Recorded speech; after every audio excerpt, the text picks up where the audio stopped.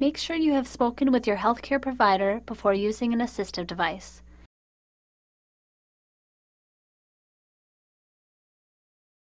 It is recommended that you are taught these stepping patterns by your healthcare provider and use this video as a supplement. Caution should be used when performing these stepping patterns, as adequate strength and balance is required. Hi, this is Fan Yang. This is Kim Bankamp. And this is Kristen Garlow. We are student physical therapists from the University of Michigan. We have collaborated with Beaumont Hospital to produce this instructional video about the proper use of assistive devices.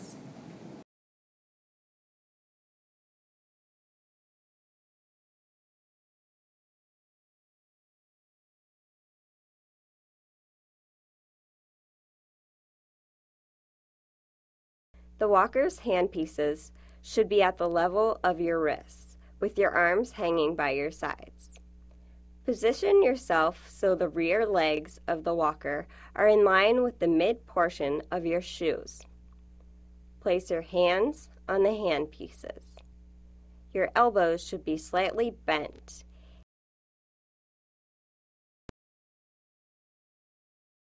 Scoot your hips forward to the edge of the seat. If you are unable to put full body weight on both legs, place your stronger leg slightly behind the injured leg. Place your hands on the armrests in front of your hips. To stand, lean forward while pushing down on your arms and the strongest leg. Place one hand onto the hand grip while partially standing. Place the other hand on the hand grip.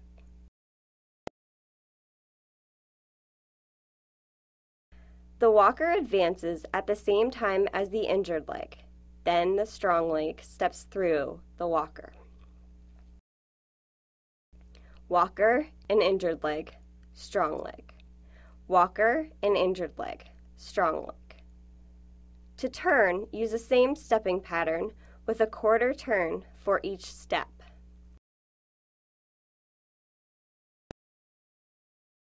The injured leg steps with the advancement of the walker.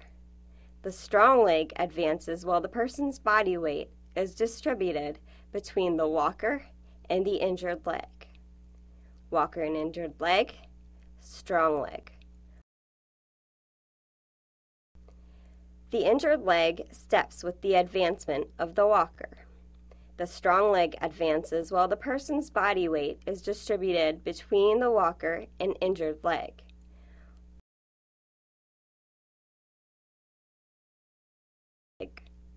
To turn, use the same stepping pattern with a quarter turn for each step.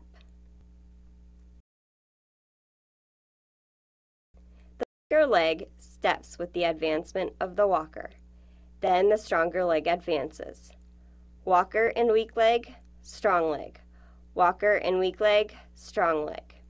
To turn, use the same stepping pattern with a quarter turn for each step.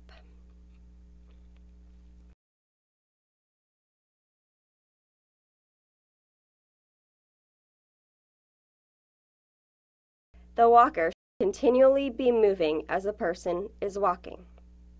To turn, use the same stepping pattern with a quarter turn for each step.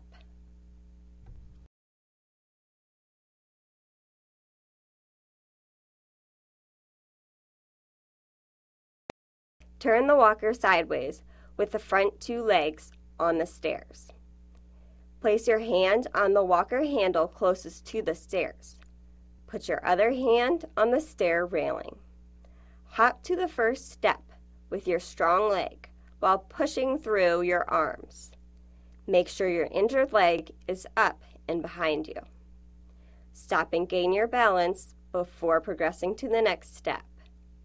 Repeat by placing the walker on the next step and hopping up with your strong leg. Turn the walker sideways so the front of the walker is beside your leg. Place the front two legs of the walker on the first step. Place your hand on the walker handle farthest from the step. Put your other hand on the stair railing. Hop down to the first step with your strong leg while keeping your injured leg up and behind you. Stop and gain balance before progressing to the next step. Repeat by going down to the next step with the walker and then hopping down with the strong leg.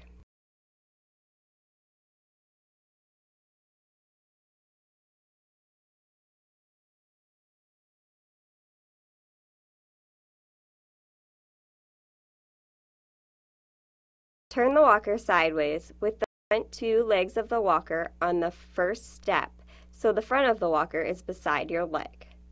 Place your hand on the walker handle closest to the stairs. Put your other hand on the stair railing. Place your strong leg on the first step while distributing your body weight between your arms and your injured leg. Lift your injured leg on the first step. Stop and gain balance before progressing to the next step. Repeat by placing the walker on the next step, going up with your strong leg first, then your injured leg. Sometimes it helps to remember the phrase, up with the good.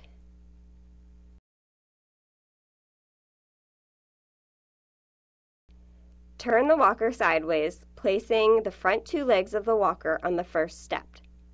Place your hand on the walker handle farthest from the stairs. Put your other hand on the stair railing. Place your injured leg on the first step while distributing some of your body weight through your arms. Lower your strong leg down to the same step. Stop and gain balance before progressing to the next step. Repeat by going down to the next step with the walker, the injured leg, then the strong leg.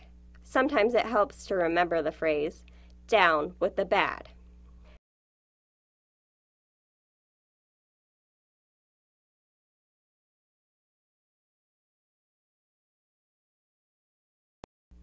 Turn the walker sideways with the front two legs of the walker on the first step.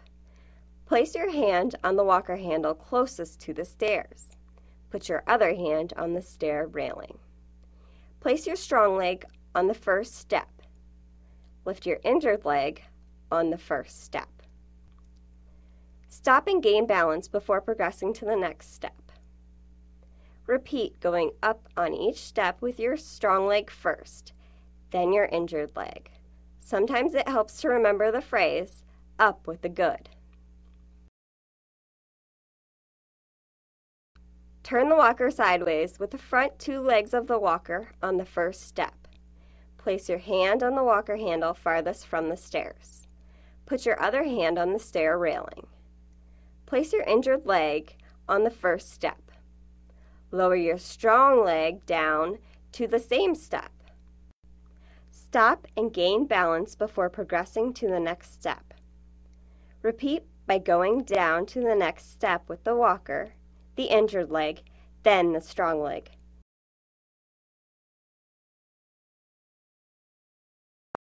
Walk to the edge of the curb, facing away from it, with your walker in front of you. Keeping your injured leg up and bent. Hop up to the curb backwards while pushing through your arms. Walk to the edge of the curb. Place the walker on the ground below. Hop down on your strong leg while pushing through your arms.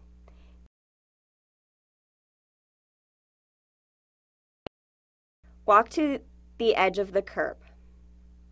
Place the walker up on the curb. Push down on the walker with your arms while stepping up with the strong leg.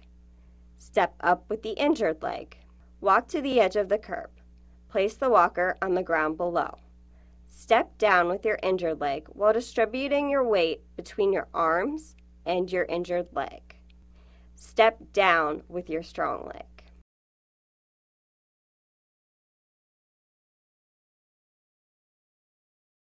Walk to the edge of the curb. Place the walker up on the curb. Push down on the walker with your arms while stepping up with the strong leg. Step up with the injured leg. Walk to the edge of the curb. Place the walker on the ground below. Step down with your injured leg. Step down with your strong leg.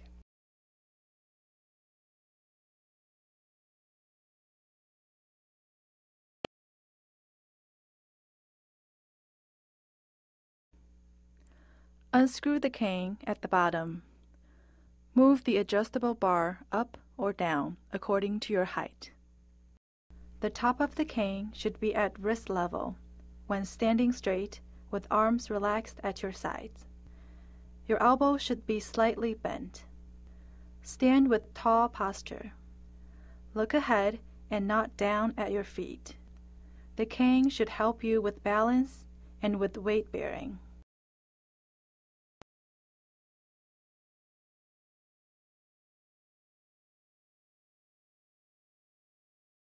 Move to the front of the chair. Lean forward and look ahead. Push yourself up by using the arms of the chair or the chair seat while holding the cane.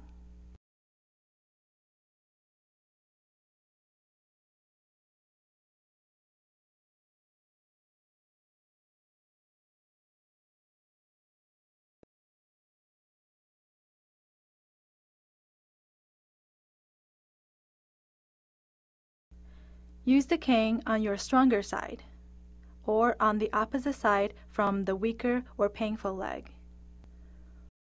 First, move the cane forward. Then step forward with your weaker leg, followed by your stronger leg. Continue with this pattern.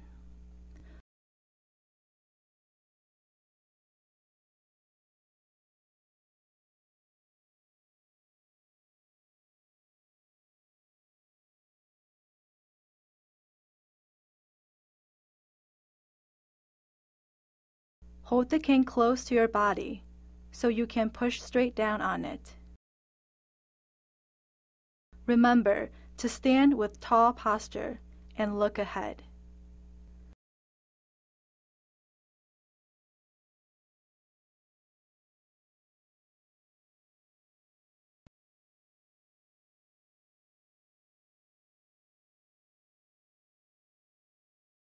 Again, put the cane on your stronger side.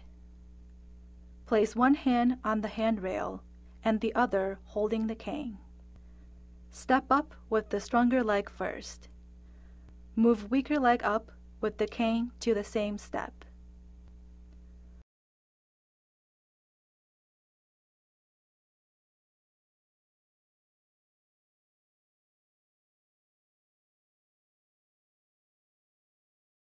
Remember, up with the good and down with the bad to help you lead with the correct leg.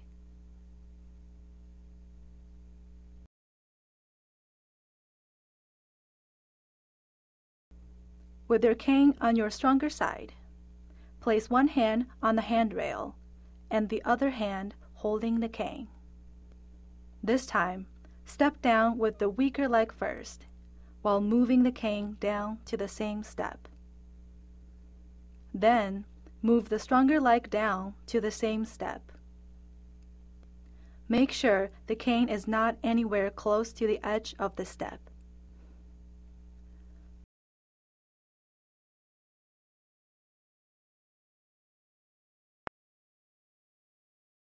Stand near the edge of the curb and get your balance.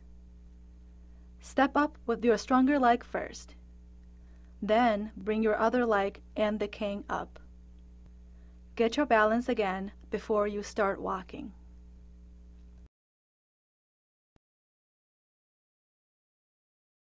Stand near the edge of the curb and get your balance.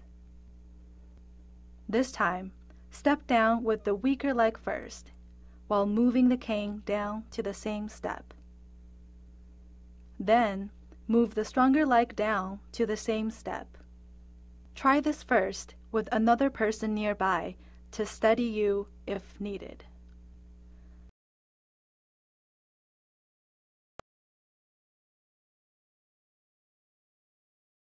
In order to find the correct fit, you may have to adjust the height of the crutches and the handles. To adjust the height, you can flip your crutch upside down. Near the bottom of the crutch is an adjustable slide that allows you to move the crutch to match your height. Some crutches are not labeled using height measurements.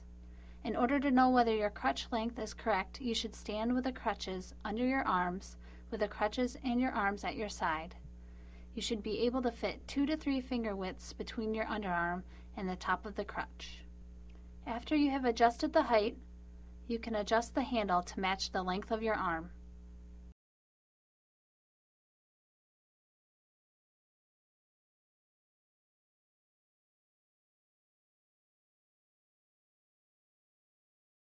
With the crutches again under your arms and at your side, the handle should fall at the level of your wrist.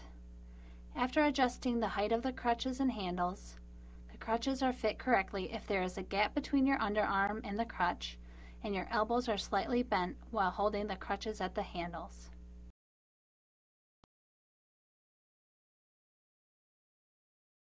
In order to move safely into standing from a chair, bed, or other surface, you will first want to put your affected extremity in front of the other. The crutches should then be placed onto the unaffected side. While moving to standing, you will want to put weight through your unaffected leg and through the hand grips of the crutches and the surface of your seat. Once standing, bring one crutch to the other side of your body so you can begin walking.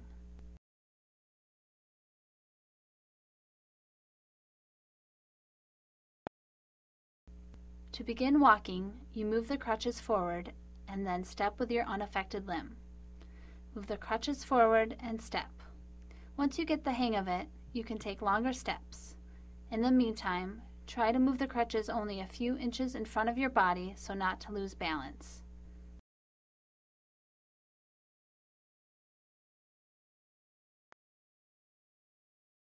If your physician has allowed you to bear weight on your injured leg, you will move the crutches forward and the affected extremity together and then step with your unaffected limb. Move crutches with the injured leg, then step. Again, take smaller steps until you feel comfortable with using the crutches. When you are ready to return to sitting, you will want to back up to the chair until the back of your legs hit the front of the chair. Next, you will bring the crutch around to the side of the body that is injured.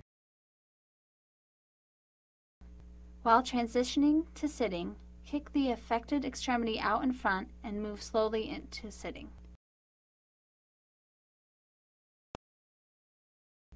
You may have to ascend stairs while using crutches. In order to do this safely, you will want to move as close to the staircase as you can. If you are using a railing, move both crutches to the side opposite the railing and place your hands on the handles. Reach for the railing with your free hand. Next, put weight through both hands, step up with your unaffected limb, and then bring the crutches up. Keep the affected leg bent and away from contact with the steps. Continue with this pattern, weight through the hands, up with the good leg, and bring the crutches up. Once at the top of the steps, bring one crutch to the other side and resume walking.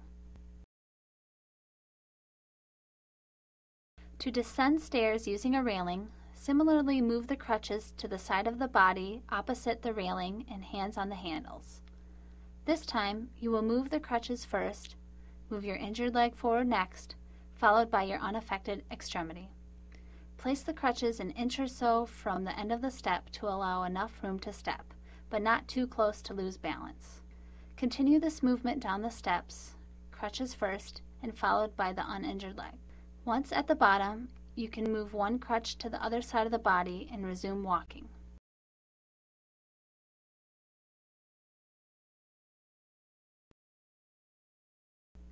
If you are using a railing, move both crutches to the side of the body opposite the railing and reach for the railing with your free hand. Next, put weight through both hands, step up with your good leg, and then bring your crutches up with your injured leg. Continue using this pattern, up with the good leg, weight through the hands, and finally bring the crutches and the injured leg up. Once at the top of the steps, bring one crutch to the other side and resume walking.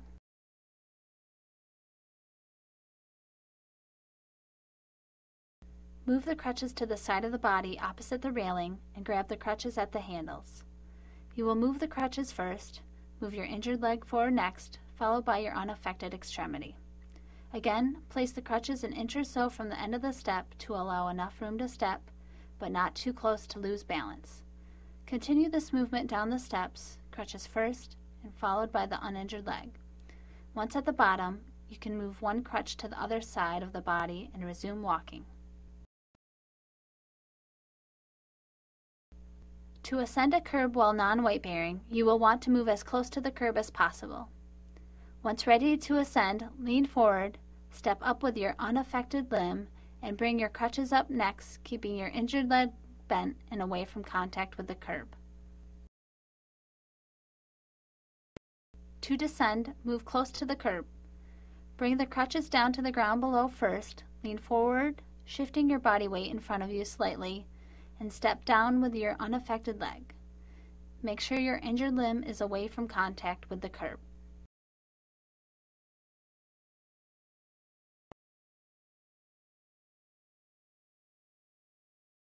First, step up the curb with your healthy leg and then bring the crutches and your injured leg up at the same time.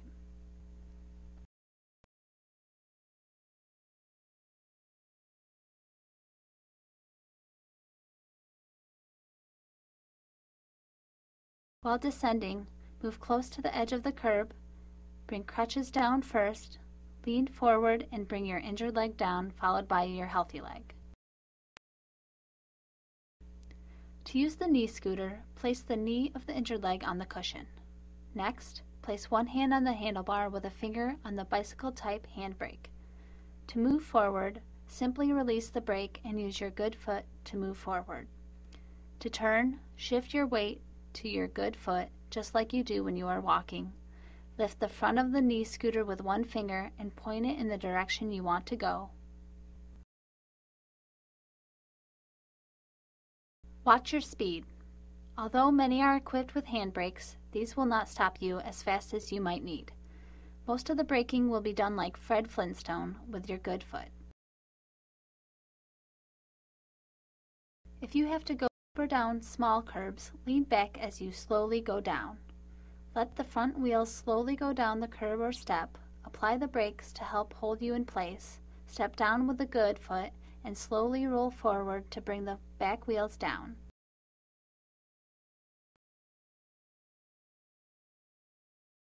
To go up a small curb, lean forward over the knee scooter, slowly lift the front wheel up the curb, move the knee scooter forward, then apply the brakes so that it doesn't roll back to you. Step up, then roll the knee walker forward up and over the curb.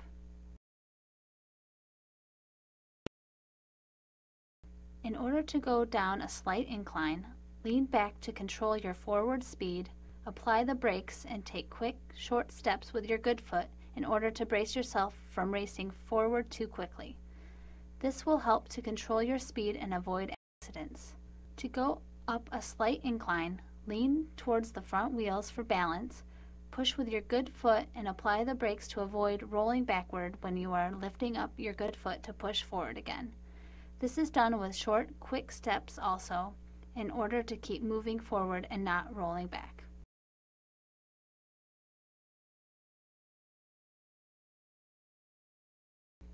To lock the scooter, press down on both brakes until you hear and feel a click.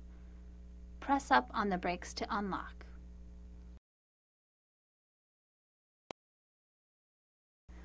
To transport the knee scooter, simply untwist the screw connecting the base of the scooter to the handlebar and fold the handlebar forward. Once transported and ready to use again, simply lift the handlebar of the knee scooter while pulling on a lever located on the left-hand side of the base of the handlebar. To lock the handlebar, release the lever and tighten the screw.